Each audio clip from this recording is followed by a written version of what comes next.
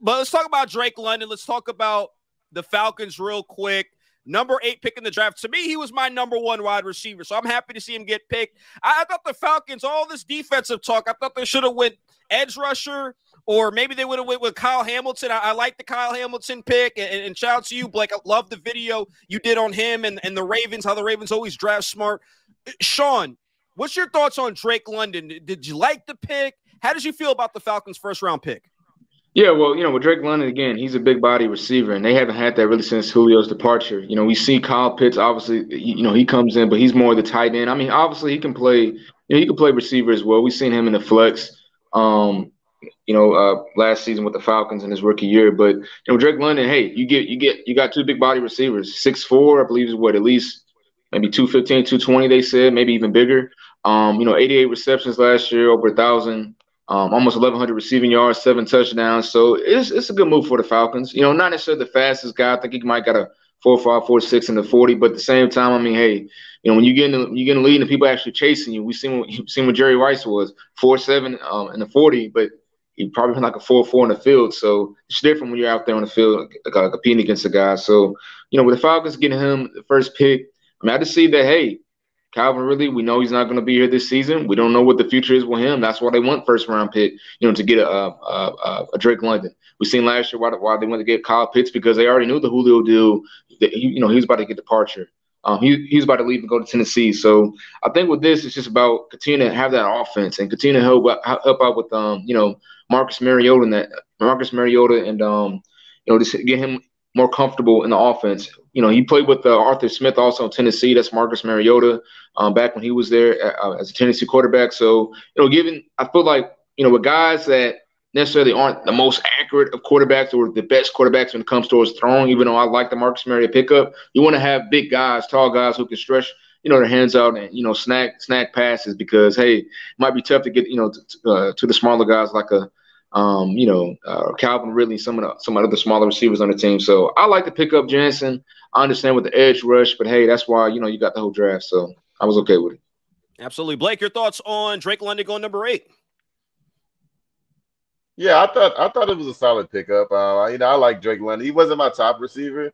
Um, in, in my opinion, I think we talked about this a little bit uh, a few weeks ago, Jansen. But uh, you know, I would have went Jameson Williams. Um, you know, I kind of like a variety in the receiver room.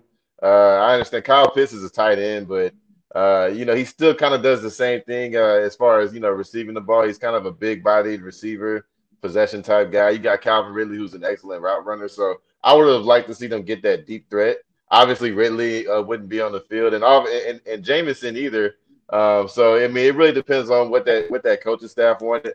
I mean, yeah, yeah, it's easy to go ahead and say, hey, we're just going to tank this year, and then you know Jameson go ahead and get healthy that's kind of the GM's mindset. But Arthur Smith, I'm sure, is just like, no, I don't want to. I don't want to just throw the season out the down the drain. So um, I thought it was a solid pickup. Um, yeah, I, I also like the, uh, them coming back to get uh, uh, Ridder uh, down in the in the third round. I think it'll be good that they can actually grow together. Uh, similar skill set to Marcus Mariota. So um, I, I, I look at Drake London like he's he can be that wide receiver one by by the year by the end of the year. Uh, I, see about nine hundred to thousand yards this year. Uh, is like provided he stays healthy. So um, I thought it was a solid pickup. Absolutely. Look, if he stays healthy, he could be a guy to solve some of those red zone issues. Falcons have had red zone issues, and I, I like it, man. It looks looks when you watch him play, can make some big time catches, contested catches. He can make some plays down the field. However, the question is going to be, can Marcus Mariota give him the ball? Is Marcus Mariota going to be healthy? That's why I think Ridder will probably start by week eight or week nine. If we, we see an injury, uh, of course, don't want him to be injured, but Marcus Mariota is prone to be hurt.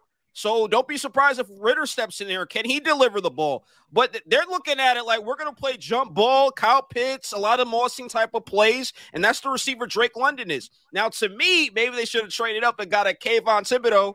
He, he would have been a great pick, I thought maybe a safety, Kyle Hamilton, how dynamic he is. We always talk about how the Falcons defense is terrible or just plain out, let's just be real, sucks, right? So why why are they using the premier picks on offense, receiver? It's but to me, we're always talking about how they can't get the, up to the pass rush. 18 sacks, that was terrible. Clearly the worst in the league. So why they not had 18 sacks last year? Yeah, they had 18 sacks. Wow. I didn't, Total. I that's, didn't realize that's that. just horrible. That's that's terrible. You're just you, you're not putting pressure on the quarterback. That's terrible. I don't know what some of those guys are doing. How you just you're not really earning a paycheck. That's just really bad. But let me get off of that. I just thought that first round pick should have been an edge rusher or Kyle Hamilton who could do multiple things. Kyle Hamilton get after the quarterback, could cover multiple positions. I think he can hit. He's fast. I like him. I think he plays faster on the field than he does in a 40 time. But people let the 40 get to the head. I don't know that. Maybe that's why he dropped. I, I don't get it. I think he's going to be a guy who's going to be a Pro Bowler each and every year. But we'll see how things play out. I do like Drake London. He was my number one guy on at the wide receiver position. We'll see what Arthur Smith. He, he's happy, but we'll we'll see if they can get to the quarterback this year.